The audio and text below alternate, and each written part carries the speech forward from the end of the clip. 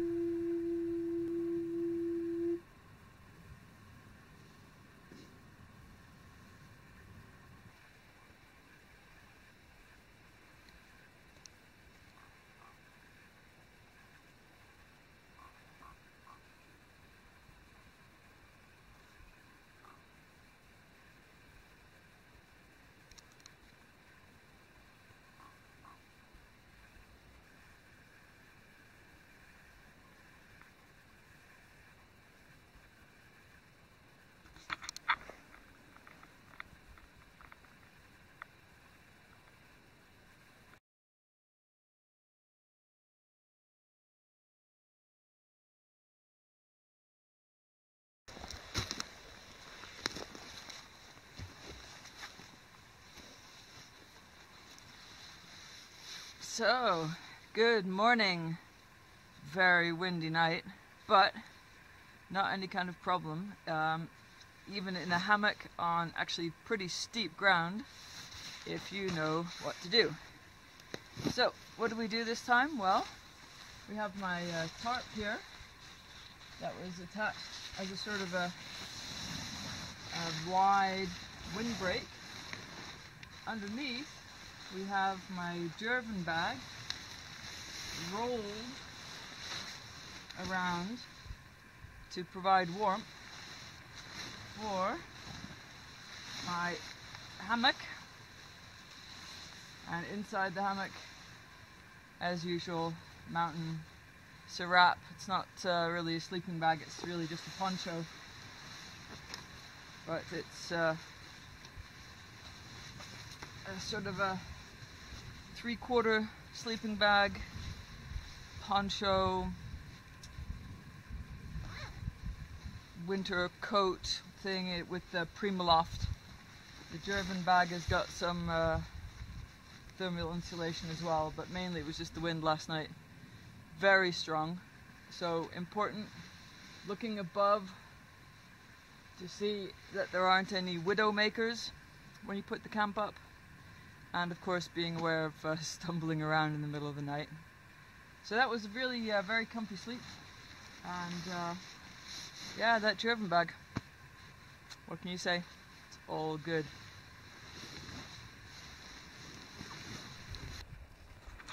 One of the uh, very many neat features of the Jerven bag is that it actually has uh, these armholes, these zip up armholes, but of course when you're using it to wrap your sleeping bag as a pod, then this makes a very, very good face hole, which uh, prevents too much uh, condensation from happening. So that was pretty good last night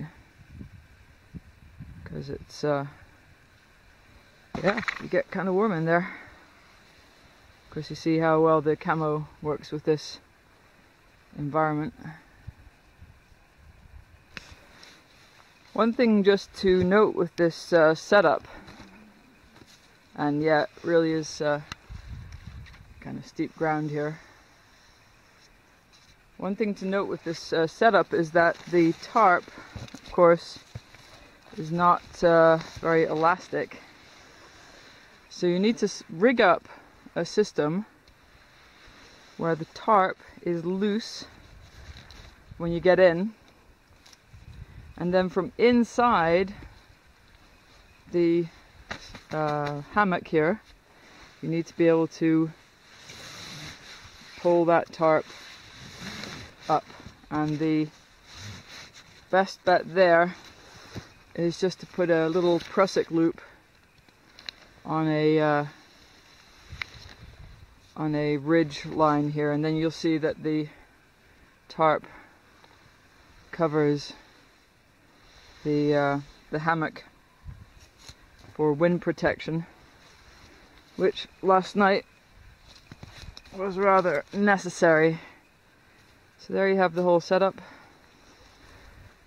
If you are worried about precipitation, then of course you could uh, put another tarp over the top, or you could maybe even uh, set it up so that it was uh, the other way around. But I really just wanted the wind to be off my back and so that's how it was all set up. Always hanging up all my gear and checking always for any loose branches up there. Especially when you know it's going to be windy always check the weather forecast just before you go out. And so you can see that even on quite steep ground you can have a cozy setup. Oh yes hot water bottle Always a good thing. Yeah, so beautiful morning. Had some coffee. Time to get on with it, I think. Yeah, do yourself a favor when you're tying things up overnight, uh, including actually the hammock. You really don't want to mess about with a lot of difficult knots. This is just a loop back and forth. It's just vastly, vastly easier to undo in the morning. There you go. You'll be thanking your ingenuity in the morning because it's a nuisance to untie knots with cold hands. Now why does she have a plastic bag on her foot? Well, that is because Sometimes when you are hiking a long time during the day, your boots get a bit damp and your socks definitely get damp. So at night I have nice clean warm socks and if I want to keep them dry then I put a plastic bag on them so that the dampness of the boot doesn't make my nice warm sleeping socks get wet. Hey.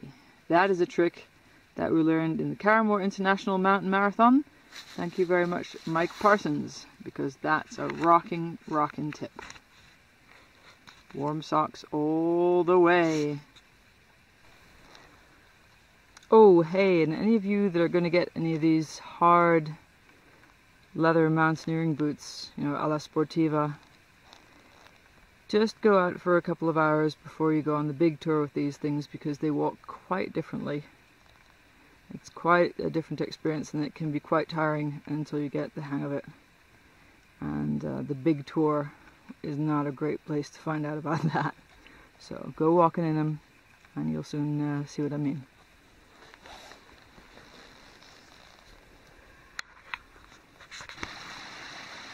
Well, it's hardly ice axe and crampon territory, but you wouldn't really want to mess it up.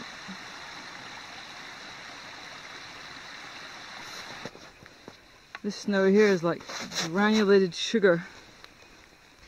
Very old, rounded snow here.